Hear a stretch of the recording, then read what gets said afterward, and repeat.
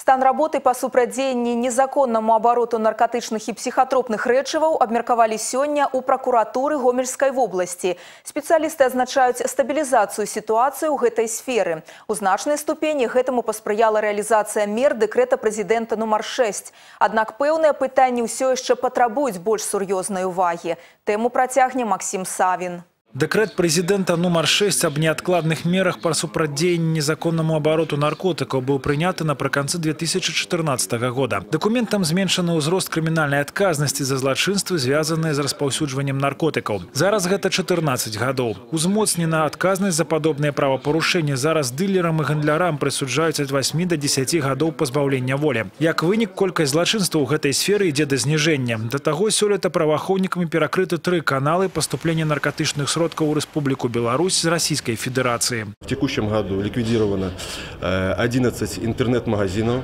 Э, в связи с этим сокращается, как я ранее говорил, э, количество психо...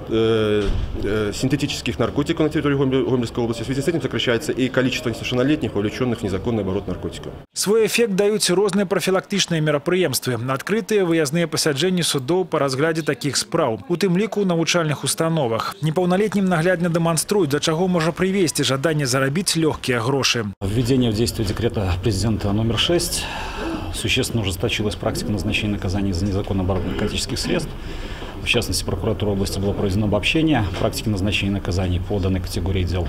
И, как свидетельствует судебная статистика, а, сроки наказания за незаконный оборот наркотических средств, особенно за сбыт наркотических средств, а, существенно выросли. По выніках пасяджэння прыняты шэраг рашэнняў, у тым ліку правядзенні сумесных рэйдаў па сельскай мясцовасці дзеля выяўлення месцаў захоўвання наркотыкаў у пустых хатах. Евген Пабалавец, Максим Савін і Гармарышчынка, тэлерадыёкампанія Гомель.